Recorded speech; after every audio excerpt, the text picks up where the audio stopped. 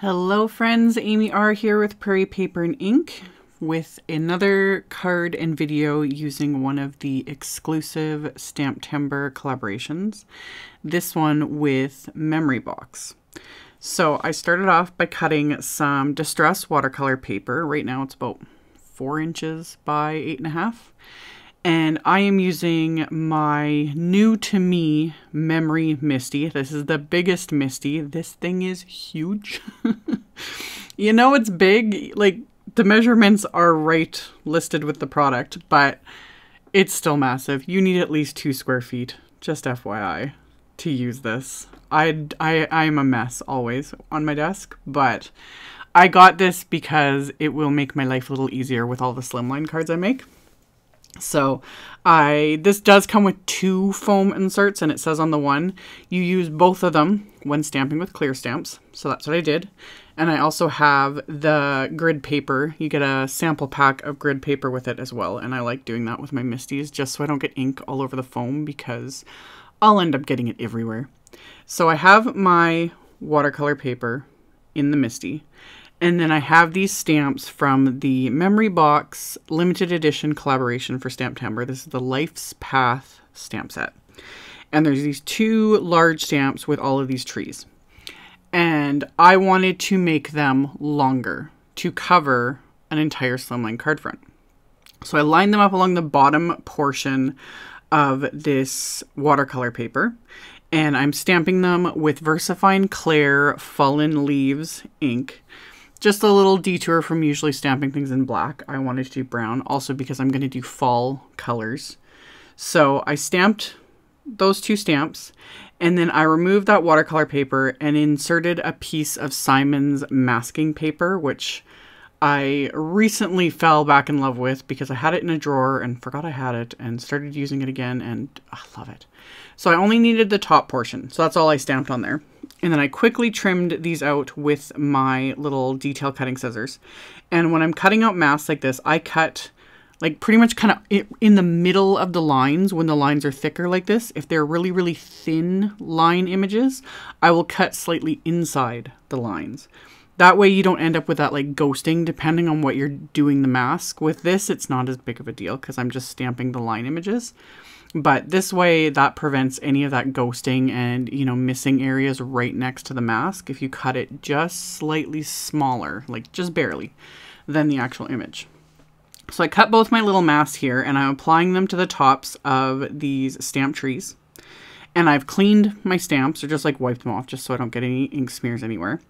And then I'm lining up the stamps again, but this time I just flip them around, like using the one I used on the left on the right just to create a little bit of a different um, orientation because they're, these are designed to create this fun path sort of a thing. So I wanted to sort of continue that along the top of this piece of watercolor paper. So with those masks in place, I stamped those trees again with that Fallen Leaves ink, and then I removed my masks, and now I've got two big long rows of trees.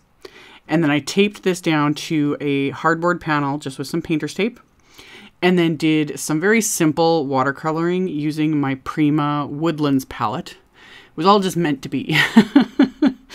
I remembered I had this palette and I was like, ooh, that's perfect because these are all the colors I would have used anyway.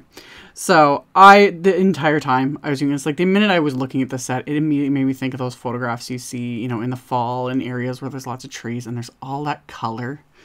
And I just love it. I love it. One, it's my favorite time of year anyway, but also there's just something about those photos that to me is like super calm and peaceful and I kind of wanted to emulate that with this set. So I went along and just painted everything with these watercolors. I did my background first and I was really messy with it. Didn't worry about it because one, it was a really light kind of beige sort of color. And I went over some of the trees and that didn't matter because I'm going right over it with other colors so that will cover anything up.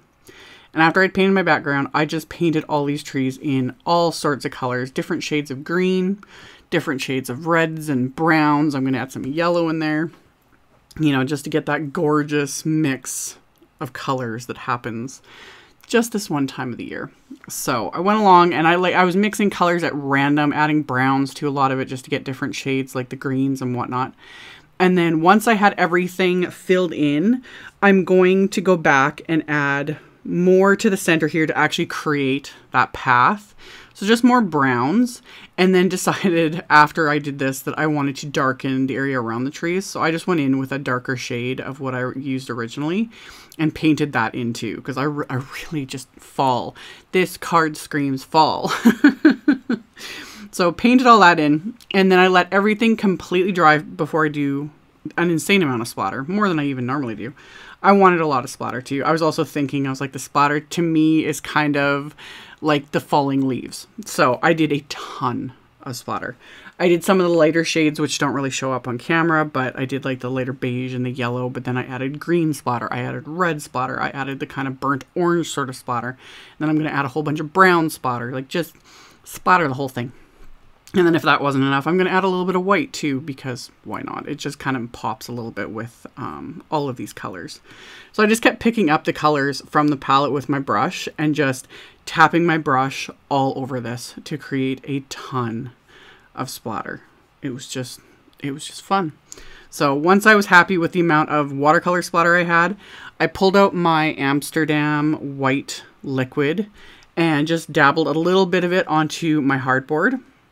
And then this, I use one of my cheapy brushes to splatter with because this does have like, it's like an acrylic, really thinned out acrylic paint in a sense. So splattered all that, let everything again completely dry. Once it was dry, I peeled off the tape and then I'm going to die cut this with one of the largest of Simon's uh, Slimline Nested Rectangle Wafer Dies and just barely press that uh, painter shape. Just kind of hold the wafer die in place so that it doesn't shift at all when I run it through my die cut machine. So I did that, and then I created my card base from Simon's 120 pound white cardstock. And the card base is a 3.5 inch by 8.5 inch slimline card. And I've masked off what will be the, the inside left side of the card because I don't want to stamp past the spine. And I'm repeating exactly what I did for the card front, except this time I'm using just Brushed Corduroy ink. I just wanted a lighter shade of brown on the inside of the card so it's something easy to write over with a ballpoint pen. And I stamped the trees, masked them like I did on the front, and then I'm going to line up the trees a second time and stamp them again. So I got that kind of continuous row of trees again just to emulate how the front looks. And then off camera, I'd stamped uh, one of the sentiments. And I stamped it crooked after doing all of this. Stamped the sentiment crooked, kicked myself a couple times, but I'm going to fix that. So off camera, I also heat embossed some of the sentiments from the set. I used white embossing powder and I heat embossed them onto dark brown cardstock, and I'll show that in a minute. And while I had obviously this massive MISTI out, I decided to also stamp these images onto, this is a grocery bag envelope from Simon, a slimline envelope. So I lined up the trees and stamped them with that same Fallen Leaves VersaFine Clair ink, so it's all coordinating. And then there's my crooked little sentiment. Fixed it, just adhered the heat embossed one on top of it, made sure that was straight, and then I can go on about finishing this card. So I used my craft tacky glue to adhere my watercolor piece to the front of this card base. And then I used two two more sentiments from the set that I had white heat embossed onto some dark cho dark chocolate cardstock trimmed out with my paper trimmer, popped on with some thin 3D foam squares. And then as a final bit of embellishment, I pulled out a bunch of my Studio Katia pearls. I have like moss green, ripe persimmon, lemon burst, and wineberry, and I'll have links to all of those. The colors just went perfectly with the colors I used for the trees, so I put those rather liberally amongst all of these trees on this card and adhered them into place with dabs of craft tacky glue and just picking them up with my embellishment wand. And once that was done, this card is complete. So, as always, there will be a link below the video to the blog post. There will be a supply list with links to everything used. With all as with all of the Stamptember exclusive limited edition sets, this is the stamp set from Memory Box is only while supplies last. So check it out ASAP if you are interested. Thank you all so much for watching, thumbs upping, commenting, subscribing. It's very much appreciated, and I hope to see you all very soon in another video. Bye!